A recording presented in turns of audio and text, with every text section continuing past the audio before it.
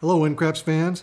I'd like to do a short video here to announce the release of WinCraps Pro version 2.6. And I'd like to give a little rundown of some of the new features. Uh, first one is I've added a new statistics screen to display the possible bet results of the next roll of the dice. You can find it under the statistics menu. It's called Bet Possibilities. It raises a screen where you can select a player or players it's got all the combinations of the dice. In this case, they've been uh, compressed into the 21 distinguishable combinations. So for instance, uh, something like the 4 rolled as a 1-3 is the same as a 3-1. You can't tell which is which, so they're both combined here, and the probability is adjusted accordingly. So it's got all the combinations of the dice, and it looks at the table to see what bets uh, are active and can win or lose on the very next roll. And it shows the possibilities of ones that will win, ones that will lose, combines them into a net, multiplies them times the probability, and then shows the expected value. Now the expected value here is not the same as you might expect to see in a table of house advantages. It's not a percentage. It's actual dollars won or lost. Uh, you can choose which columns to display or not display here using the display menu. Just select them here. And uh, let me give you a little example. For instance, if we take Frankie and we'll take, say, a $5, make a $5 field bet, the field bet is active, so you can see it appears up here. If he rolls a 2, you win 10 bucks. If he rolls a 3 or a 4, you win 5. If He rolls a 5, 6, 7, or 8, you lose $5. 9 or a 10 or 11, you win $5. And a 12, you win 10 bucks. So uh, combine all those into a net win and loss, multiply times the probability, comes up with the expected value so that on average we can see the next roll of the dice, we were going to lose 27.78 cents. Now you can convert that into a uh, percentage if you wanted. You could just take the point 0.2778 divided by 5. And you're going to, for the double payoffs for 2 and 12, you're going to come up with 5.56% uh, uh, expected value. Uh, now, something like uh, well, actually, before we do that, let's just show you here. If I were to make a $1 bet, you can see here it is, 5.56%. Um, okay. Now, if we were to make something like a place six bet here, here we have a $6 place six bet. Notice it doesn't appear over here because it's on the come out roll. Normally the place bet is off. If you were to call it on, it would appear. But uh, it doesn't appear here until it's active. So let's roll, say, a 4. Now the place 6 bet is active and now you can see it appears here.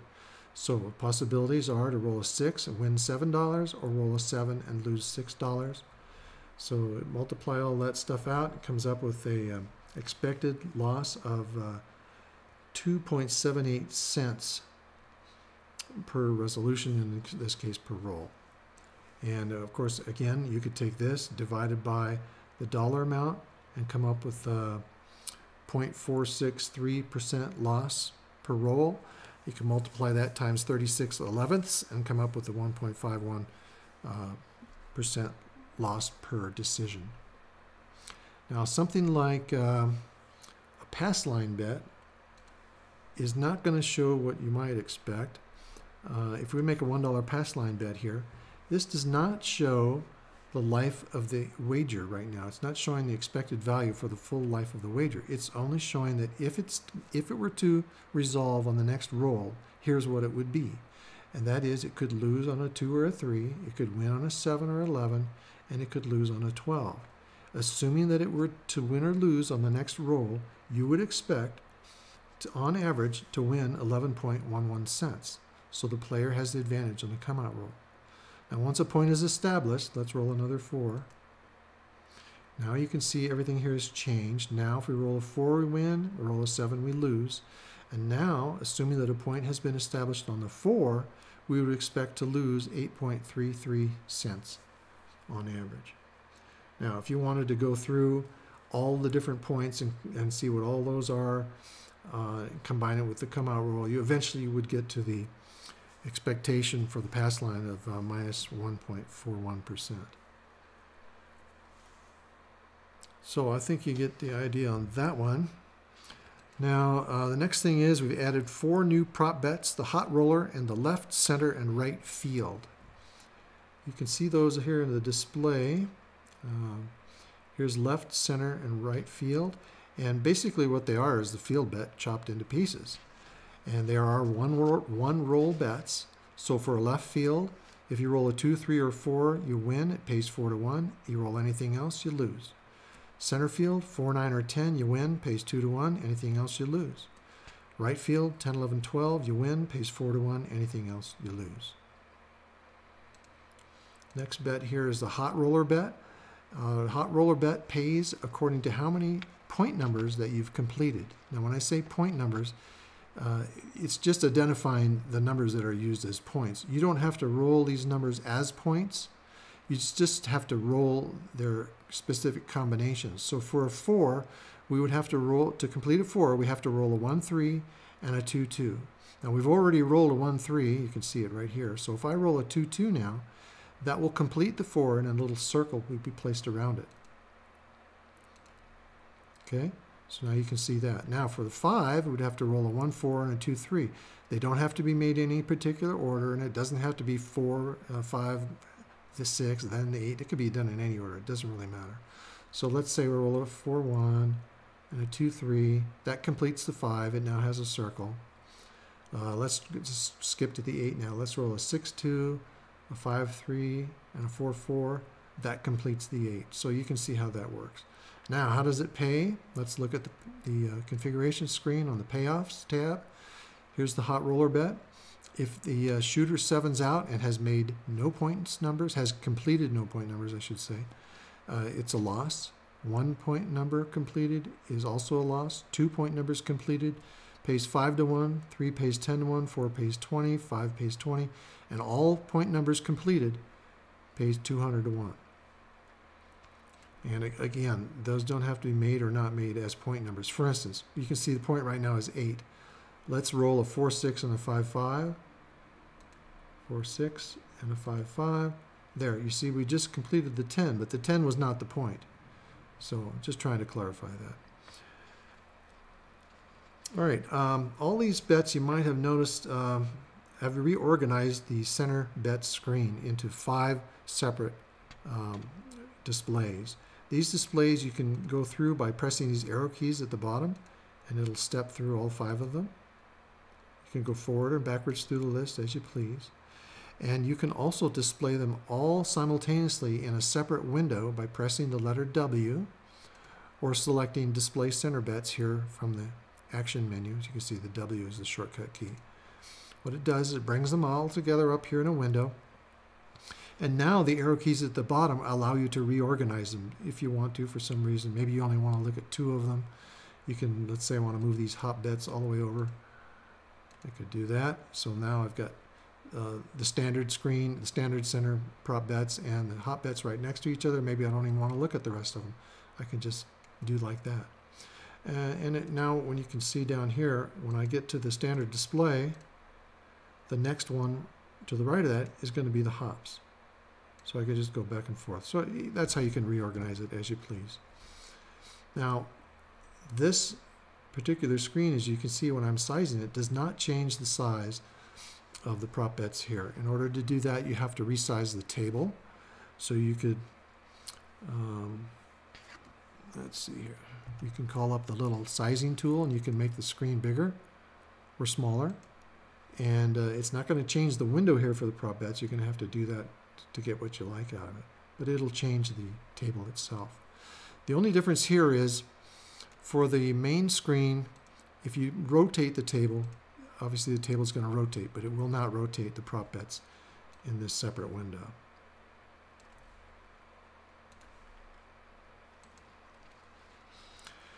Okay, now I've also changed the ability to set the background player uh, color of the player's status boxes.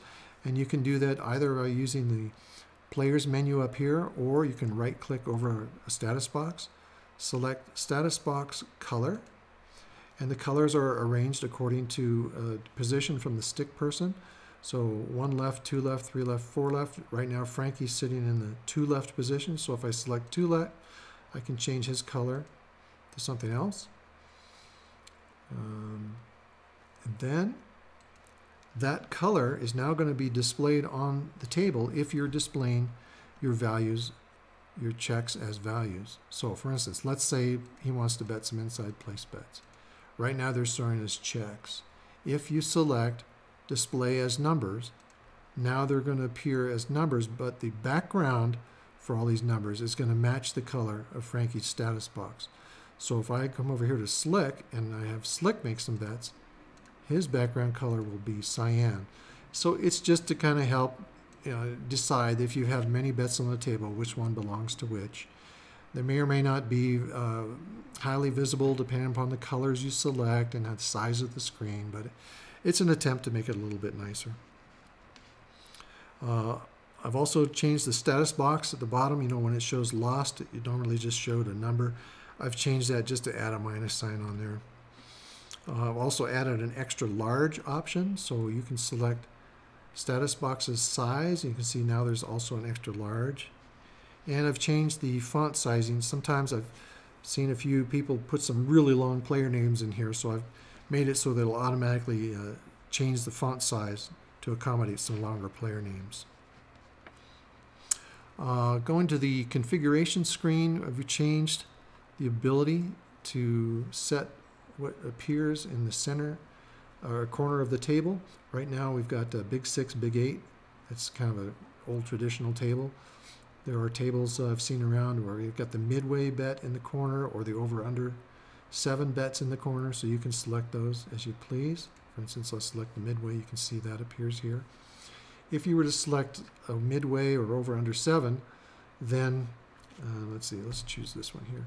Then you can see big six and big eight goes up onto this screen here. If you select nothing to appear in the corner, let's just say no bet, no corner bets, what's going to happen is there's no corner bet. You're still going to have the midway over under seven, but big six, big eight is going to be dropped out. Uh, there's really no need for that bet anyway. It's kind of on its way out. Honestly, I, would never recommend betting it. If you want to bet a six and an eight, you should bet them as place bets. It pays better, and uh, it's really the better the better way to go.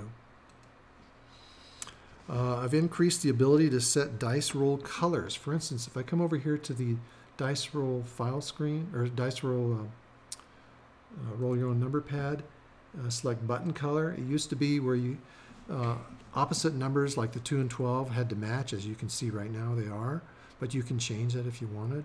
Or like say the 410 here I've got separated, 10s uh, are appearing in brown. Let's say if 6 and 8, maybe I wanted 8 to appear as a uh, well, let's see. Let's choose something else. Maybe some purple, dark purple. So you can do that. No big deal, but sometimes it's particular numbers you want to look at, and it just helps those stand out as well. Uh, I've changed the fire bet. Uh, obviously, moved it to a different part of the uh, prop bets. And I used to have a thing on where you could say the max prop bet payoff, or max prop bet amount was. Uh, what I've done now is I've changed that so it's just automatic a fire bet is tied to the max prop bet payoff. Uh, I've added fixed width versus proportional width font option to the check stack screen. So if we open that, uh, sometimes you can see uh, when you've put things here into the uh, name column that they don't necessarily line up like you want them to. And you can come up here into options, font, and you can set fixed width and then everything is all of the letters are going to be the same width and you can line things up maybe a little nicer uh, maybe you don't want that you can just go back to the proportional font I've also added an output menu which combines the print or if you want rather than to print uh, the check stacks you can put them out to a text file or the clipboard and you can also put them to the text file or clipboard as tab separated values now when you might you might want to use that when say you want to take whatever you've got on your check stack screen and you want to open it in a spreadsheet program like Excel, then you would do it in a tab separated values so that when you open it up in Excel, uh, it's going to line them up all nicely into separate columns. And uh, you might find that useful. Uh, let's see, we've also added the option to display hop bets both as dice or alphanumerics. That's back on the uh, prop bet screen here. It's no big deal. You can view the dice here, or if you click on hop, then you can just appear uh, as, as letters, words, hop, two, six, etc. I've also added to auto betting a function called string. of course, there's also the string function str, which converts a value into a string value. But there's also this new command here, string dollar. And you're probably not going to use that, but you know, if you're really into this, uh, you want to do something on, say, the check stack screen, or maybe some output to a printer, and you want to uh, put out uh, multiples of certain uh, certain strings, you can do that here. So what I've done here, here's a little screen that uh, tallies up come out rolls, and it uh, whenever there was a come out roll, it, it adds up the number of come out rolls. It uh, tallies up what the come out roll was. For instance, if it was a four, it goes into check stack four. Then it runs through a little loop here, and it says, okay, I want the check stack name then to be equal to a string. This string now, there's two components to the string. One is how many uh, repetitions of the string do you want, and the second part is what the string is. So the number of repetitions and, and the string itself. In this case, I want the string to be 100 units times a ratio. And the ratio is going to be the number I'm looking at. So for here, here I've started a loop with check stack 0 is equal to 2. So it comes in the first time. Check stack name number 2 is going to be equal to check stack 2 divided by the number of come out rolls. So that's going to be the percentage of 2's. So I'm going to take 100 times the percentage of 2's, and that's going to give me a value, and that's how many equal signs I'm going to repeat. So it basically is going to draw a little graph. Uh, again, most of you probably not going to use this, but just to show you, you might find some uses for it. So let me do a little demonstration here. Let's open up the check stack screen and let's run this little thing here with the hyperdrive and you can see what's happening here. Um, here's the numbers 2 through, uh, I guess we haven't rolled any 12s yet. There came one. Okay, so we've got numbers 2 through 12. These are all come out rolls. And you can see it's drawing a little graph here as the rolls are occurring. Uh, I, I, demonstrated something similar to this um, on an earlier video. So I think you get the idea on that. I've also improved uh, AutoBet error handling and fixed a few minor bugs that pretty much covers what I want to talk about here. As always, there, will be more to come in the future. Uh, WinCraps is continuously updated. Uh, appreciate your watching. I hope you got something out of that. And uh, go ahead and check out version 2.6. I think you might like it. Thanks a lot.